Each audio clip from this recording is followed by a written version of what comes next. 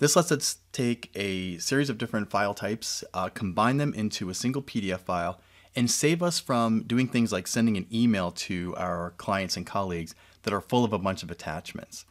So let me just take a quick look at uh, what this might look like if I were to take this folder of documents and just send them off to my colleague in this case.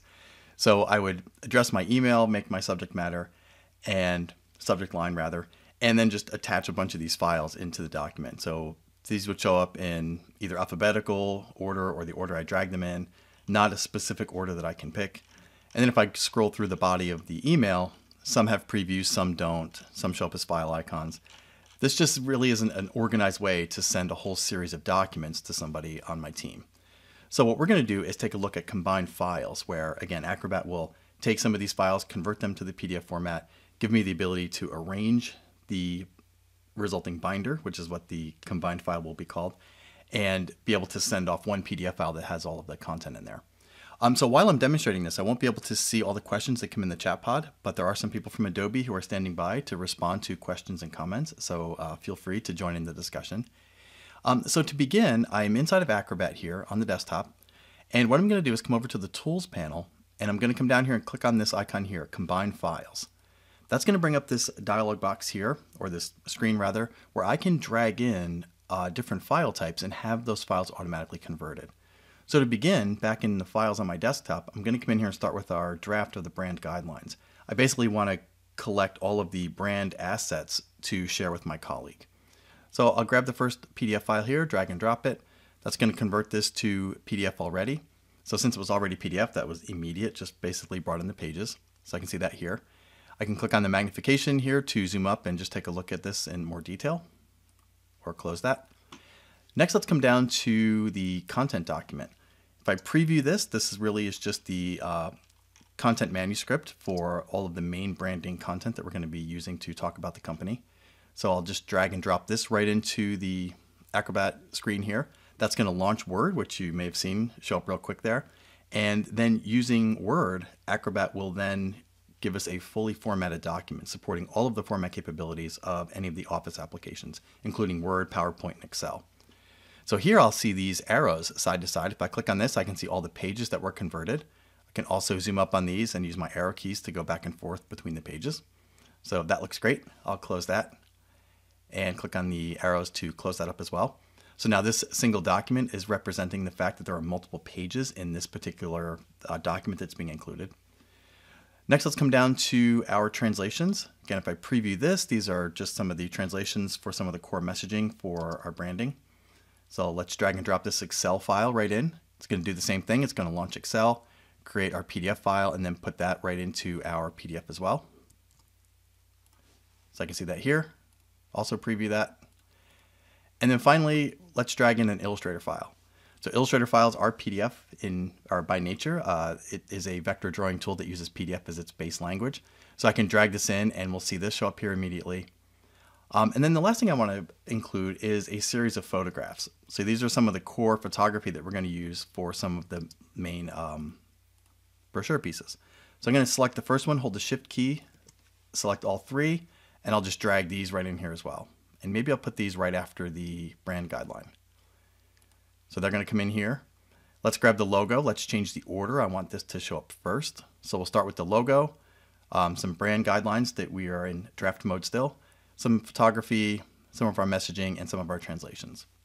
So now I've added a lot of organization to all these files that I wanted to add to that uh, content. So with all of these in place, I'll come up here and click Combine.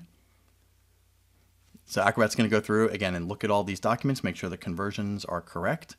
And then what's going to happen when we're done is we're going to end up with this PDF file here.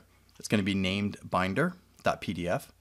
And if I come over here to the Pages panel and click this open, I can scroll through here and see all of the content from the native files that I had dragged over from my operating system converted to PDF pages inside of my final document here. So I can drag through and see all of that content here. If I go over to bookmarks, I'll get a bookmark listing of all of the different assets that were uh, dragged into this uh, PDF file as well. So Acrobat is keeping track of all of the content that's being brought in as well. So let's close that page. Um, so I do see one question that's coming over. Um, this is from Jesus, and he is asking, Um, what if I want to send the original Word document or any of the other original files? Um, and that is a great question. What's happening here is we are actually getting a PDF conversion of all of that content. So we can take all of those native files, convert them to PDF, collect them into a single PDF file, and then have one basic repository of all of that content. However, uh, Jesus is asking how do we import or include the original documents? And the answer to that is over here on the left-hand side, we can go to the attachments panel. So the attachments panel allows us to add any file into a PDF file. So the PDF file is a wrapper that basically has the contents of a native file wrapped inside of it. So let's take a look at doing that. So with the attachments panel open, I'll come over here and I'll click on the um, paperclip with a plus sign here. This will be our add dialog box. So we're going to go over to our files and let's say I want to grab the Word document. I'm going to hold the command key or control in Windows to select non-sequential files. So I'm going to grab the Word and Excel files and then I'll come down here and click open and that's going to add these into the list of files that are attached to this PDF.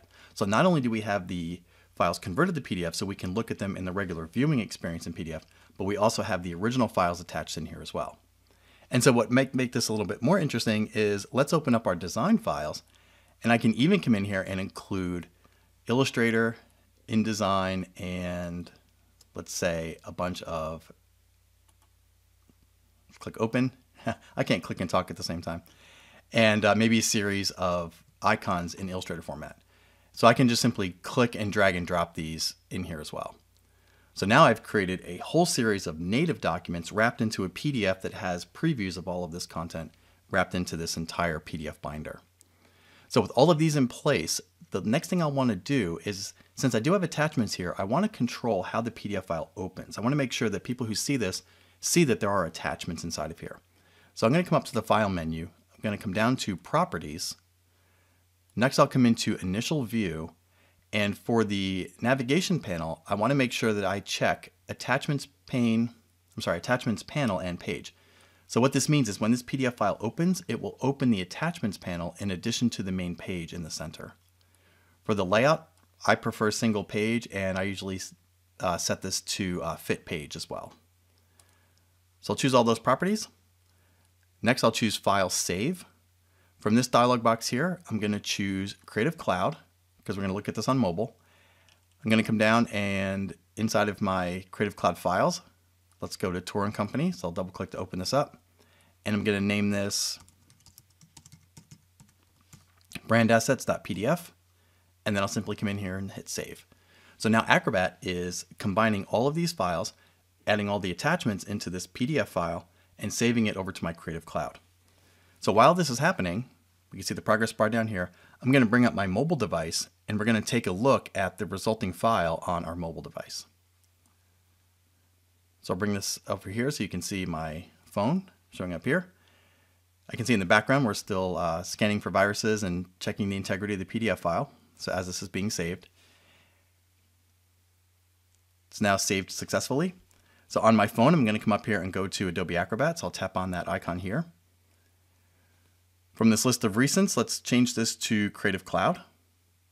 Let's go to Tor and Company. I will now see the brand assets PDF that we just created. I'll tap on this. This is going to open up the PDF on my mobile device. And right away I can see the very first screen. So I can use my finger, tap and swipe, and I can swipe through all the individual pages. I have all of the capabilities of the reader, which means I can uh, pinch and zoom, I can double tap to zoom out. I can swipe across all the pages. But down here in the, the bottom of the toolbar on my mobile device, notice I have this paperclip icon here. If I come down here and tap on the paperclip, this will show me all of the files that are attached into this PDF file on my mobile device. So here's where things get really interesting. I'm still in Acrobat. I'm in the attachments panel. I can tap on the Microsoft Word file, for example, get a preview of the Word document, and then in the upper right hand corner, this little action icon up here. I can tap on this. I can say open in. That's going to go back to my uh, mobile OS. I can see copy to Word showing up over here. So I can tap on this icon and Acrobat Mobile is going to extract the attached Word document, send it over to Microsoft Word on my mobile device, and then I can then continue editing this over in a completely separate application.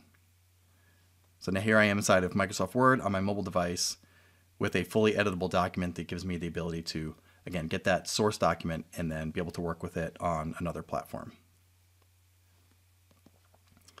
So I'm going to double tap here. Let's switch back over to Acrobat. Hit the left arrow key, left arrow one more time, go back to our main document, and then I can continue navigating in that main binder file. So again, this gives us the ability to uh, not inundate our clients and colleagues with a whole bunch of files attached to an email.